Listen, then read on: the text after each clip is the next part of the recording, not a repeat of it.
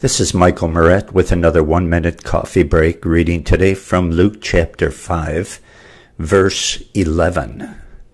And when they had brought their boats to land, they forsook all and followed him. Talking about Peter and James and John and Andrew. They left all their fish, which would have brought them a quite a bit of money. They left their fish, they left their boats, their friends, and their families to become followers of the Lord Jesus Christ. God does not ask everyone to do the exact same thing, but He does ask everyone to give Him unconditional obedience, whether it's convenient or not.